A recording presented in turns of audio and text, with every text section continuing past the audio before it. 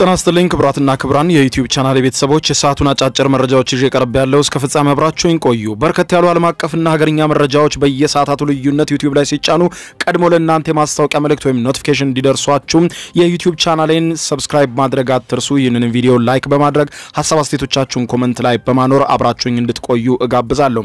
ወደ መረጃዎቹ ስናቀና መካከለኛው ምስራቅ በዛሬው ዕለት ሌሊት ባልተጠበቀ ፍንዳታ ሲናጥ አድሯል። ይኸውም የሆነው እስራኤል በእጅጉ የተፈራውንና በእስራኤልም ዘንድ ሲጠበቅ የነበረውን የምድር ውጊያ በሰፊው መጀመሯን በዛሬው ሌሊት አስታውቃለች። የመድፍና እንዲሁም የታንክ ውጊያዎችም በስፋት መካሄዳቸው ተመልክቷል። ይህንን አስመልክቶ ከጋዛ ከባድ ፍንዳታ መሰማታቸውን እንዲሁም የኢንተርኔትና የስልክ አገልግሎቶችም ሙሉ በሙሉ በጋዛ ላይ መቋረጣቸው ተመልክቷል። በሌላ በኩል ሐማስ ዛሬ ንጋቱን አንድ መግለጫ አውጥቷል። እስራኤልን የተመለከተ ይኸውም እስራኤል አንድ ውሳኔ ላይ ደርሳለች ብሏል።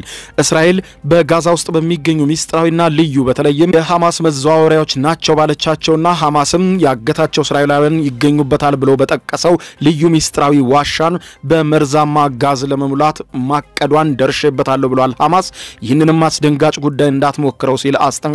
ጉዳዩን በተመለከተ የምታደምጧቸው ሰፊ ዝርዝር መረጃዎች ይኖራሉ። በሌላ በኩል የተባበሩት መንግስታት ድርጅት አስቸኳይ ስብሰባ አካሂዶ ነበር በኒውዮርክ ዛሬ ሌሊቱን። የተመድ ስብሰባ የነበረውም በተለይም በእስራኤልና በፊልስጤሙ ሐማስ መካከል የሰብአዊነት የተኩስ አቁም እንዲደረግ ቢሆንም የተኩስ አቁሙን በርካታ ሀገራት ቢደግፉትም ኢትዮጵያ በጉዳዩ ዙሪያ ድምፀ ተአቅቦ ማድረጓ ተሰምቷል። ኢትዮጵያ በጋዛ ጉዳይ ድምፀ ተአቅቦ ያደረገችበትን የኒውዮርኩን ስብሰባ የማስደምጣችሁ ጉዳይ ይኖራል። እነዚህ ያስተዋወቅኳችሁና ሌሎችንም በርከት ያሉ የመካከለኛው ምስራቅን የተመለከቱ መረጃዎችን አብረን እናድምጠው። አብራችሁኝ ቆዩ።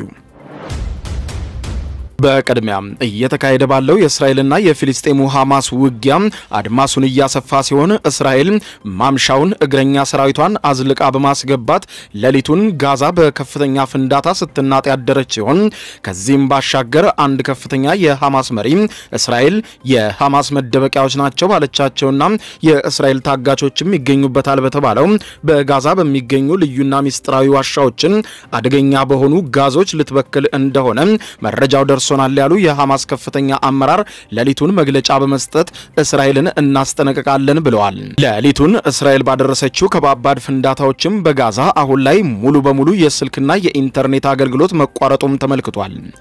የእስራኤል የጦሩ ቃል አቀባይ የሆኑት ዳንኤል ሃጋሪ በሰጡት መግለጫ ትናንትና ምሽት ጀምሮ ሌሊቱን የእስራኤል እግረኛ ጦር ዘልቆ ወደ ጋዛ መግባቱን አመልክተው ዘመቻውንም እያሰፋን ነው ሲሉ አመልክተዋል።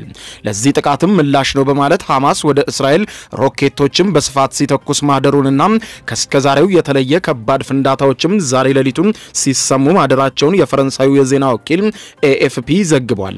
በተጨማሪም የእስራኤል ሰራዊት በጋዛ ላይ ተከታታይ ጥቃቶችን እየፈጸመ መሆኑን አጃንስ ፍራንስ ፕሬስ የገለጸ ሲሆን ሰራዊቱ በጋዛ ላይ የሚያካሂደውን ወታደራዊ ዘመቻ በከፍተኛ ሁኔታ እያሰፋ መሆኑን መግለጹን ተከትሎ የጋዛ ከተማ ነዋሪዎች ወደ ደቡብ ጋዛ ክፍል ለቀው እንዲወጡ ቢያዝም ነገር ግን እስራኤል የጋዛ ነዋሪዎች በሚሸሹበት አካባቢም የአየር ጥቃት እየፈጸመች መሆኑን ተከትሎ የጋዛ ነዋሪዎች ይሸሹበትና ይደበቁበት ጥጋት እንዳጡ መረጃዎች ያመለክታሉ። በጋዛ የእስራኤል ጥቃት ተጠናክሮ በቀጠለበት በዛሬው ዕለት ሌሊት ከስከዛሬው በተለየ ሁኔታ የስልክና የኢንተርኔት አገልግሎት ሙሉ በሙሉ በጋዛ ላይ መቋረጡ ተመልክቷል። ለ23ኛ ቀን የቀጠለው የእስራኤልና የሐማስ ጦርነት በጋዛ የኢንተርኔትና የስልክ አገልግሎት መቋረጡንና እስራኤልም በጋዛ ሰርጥ የምትፈጽመውን የአየር ድብደባና የመድፍና የታንክ ጥቃት አጠናክራ መቀጠሏን አልጀዚራ በዘገባው ያስታወቀ ሲሆን በትናንትናው ዕለት አመሻሽ ጀምሮ በጋዛ ተደጋጋሚና ከባድ ፍንዳታዎች ሌሊቱን በሰፊው ሲሰሙ እንዳደሩና በተለይም በሰሜን ጋዛ እስራኤል ከባድ የአየርና የመድፍ ጥቃት እየፈጸማች መሆኗን ጠቅሶ የኢንተርኔትና የስልክ ግንኙነት መቋረጡ ምክንያት የፊልስጤም ቀይ ጨረቃ ማህበር በጋዛ ካለው የኦፕሬሽን ክፍልና በስራ ላይ ካሉ ቡድኖቹ ጋር መገናኘት አለመቻሉንና በጋዛ ያለው ሁኔታ አሁን ምን ላይ ነው የሚለውን ማወቅ ፈጽሞ እንደማይቻል አመልክተዋል። የእስራኤልን ጥቃት በሚመለከት የእስራኤል መከላከያ ሚኒስትር ቃል አቀባይ ዳንኤል አጋሪ ሌሊቱን በሰጡት መግለጫ እንዳሉት እስራኤል የአየር ጥቃቱን ጉልህ በሆነ መልኩ እየጨመረች ትገኛለች ያሉ ሲሆን የምድር ጦር እንቅስቃሴውም ሰፍቷል።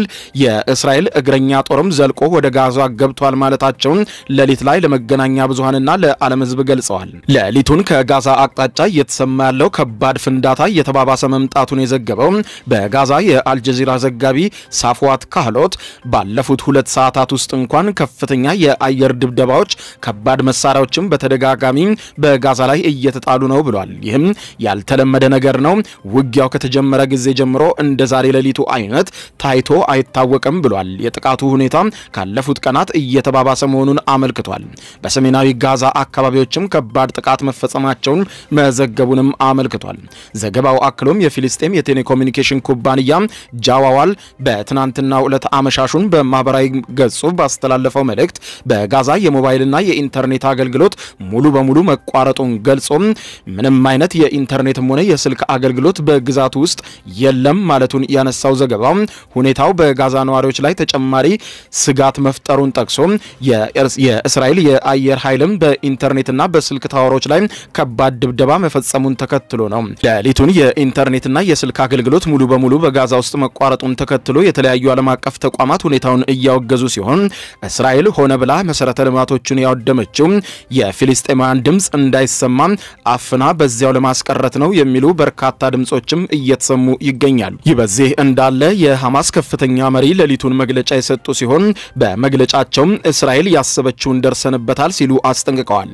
እኚሁም የሐማስ ከፍተኛ አመራር ሌሊቱን በሰጡትና ለእስራኤል በተላለፈው መግለጫ እንዳመለከቱት እስራኤል በጋዛ ውስጥ የሚገኙ የሐማስ ልዩ መደበቂያ ሚስጥራዊ ዋሻዎችን በተለይም ደግሞ የእስራኤል ታጋቾችም የሚገኙበትን ዋሻ አደገኛ በሆነ መርዛማ በካይ ጋዝ ልትበክለው መሆኑን ደርሰንበታል ያሉት የሐማስ ከፍተኛ አመራር እንዳትሞክረው እስራኤልን እናስጠነቅቃታለን ብለዋል።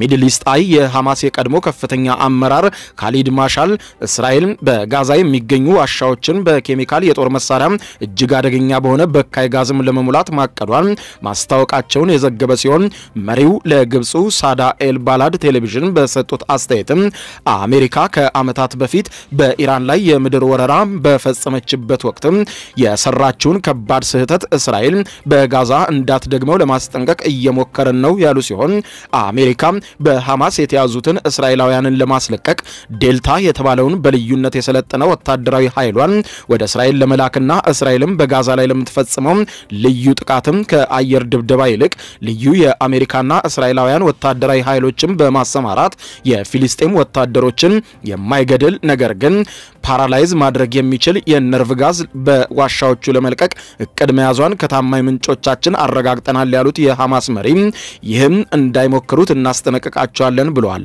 ሰፋፊዎቹ የጋዛ ልዩ ምስጢራዊ ዋሻዎችም በተለይም የሐማስ ታጣቂዎች ሕዝብ በተሰበሰቡባቸው የከተማ አካባቢዎች ማለፍ እንዲችሉ የሚያስችሏቸው እንደሆነ ያነሳው ዘገባው የሐማስ መሪዎችና የጦር መሳሪያዎችም ሊደርሱባቸው ከሚችሉ የአየር ጥቃቶች ነፃ ሆነው እንዲቆዩ የሚያስችሏቸው ሚስጥራዊ ከጋዛ በታች ያሉ ዋሻዎች እንደሆኑ በማንሳት በአሁኑ ወቅትም ቡድኑ በሚጠቀምባቸው ዋሻዎች አካባቢው የአሜሪካ ልዩ ዴልታ ኃይል ኮማንዶዎች ቁጥጥር ስር ከሆነ የነርቭ ጋዝ ወይም የኬሚካል የጦር መሳሪያ ሊለቀቅ እንደሚችል ስጋት እንዳደረባቸው ጠቅሶ አሜሪካና እስራኤል ይዘውታል የተባለው ይህ እቅድም በዓለም አቀፍ ደረጃ ጥቅም ላይ እንዳይውሉ የተከለከሉ ጋዞችን በተለይም የነርቭና የኬሚካል የጦር መሳሪያዎችን በመጠቀም ላይ እየተመሰረተ መሆኑን አመልክተዋል። መገናኛ ብዙሃኑ የነርቭ ጋዞቹን በተመለከተ ባሰራጩት ዘገባ የነርቭ ጋዞቹ በትንፋሽ በመግባት በማዕከላዊ የነርቭ ስርዓትን እንዲሁም ያተነፋፈስ ሂደትን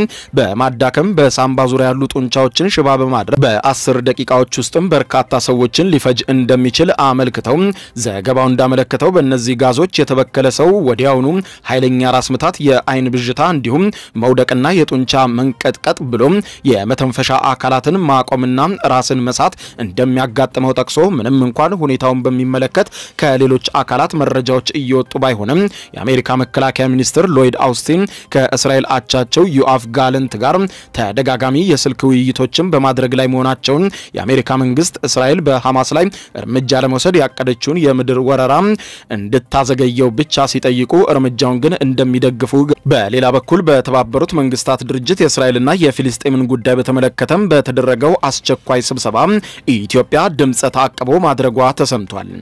ኢትዮጵያ ድምፀ ተአቅቦ ባደረገችበትና የተባበሩት መንግስታት ድርጅት ዛሬ ሌሊቱን ባካሄደው ልዩ አስቸኳይ ጉባኤ ላይ በጆርዳን በቀረበው የውሳኔ ሀሳብ ላይ ተወያይቶ የመንግስታቱ ድርጅት ውሳኔ አሳልፏል። በጆርዳን የቀረበውን የውሳኔ ሀሳብ በጋዛ የሚደረገው ጦርነት የሰብአዊ ተኩስ አቁም እንዲደረግ የሚጠይቅ ነበረ። በዚህም የተባበሩት መንግስታት ድርጅት ባካሄደው ልዩና አስቸኳይ ጉባኤ ላይ በጋዛ የሰብአዊ የተኩስ አቁም እንዲደረግ ውሳኔ አሳልፏል። በዚህም በጆርዳን የቀረበውን የሰብአዊ ተኩስ አቁም ጥሪ 120 አገራት ድጋፍ ሲሰጡ 14ቱ ደግሞ ተቃውሞታል። እንዲሁም 45ም ሀገራት ኢትዮጵያን ጨምሮ ድምፀ ተአቅቦ አድርገዋል። በጉባኤው ላይ የተሳተፈችው ኢትዮጵያ በጋዛ የሰብአዊ ተኩስ አቁም እንዲደረግ በሚጠይቀው ውሳኔ ላይ ድምፄን አልሰጥም ስትል ድምፀ ተአቅቦ አድርጋለች። የተባበሩት መንግስታት ድርጅት አስቸኳይ ልዩና አስቸኳይ ጉባኤውን እያደረገ ባለበት ሰዓት እስራኤል በምድር ጦር በጋዛ የምታደርገውን ዘመቻ አስፋፍታ መቀጠሏን ማስታወቋ አይዘነጋም።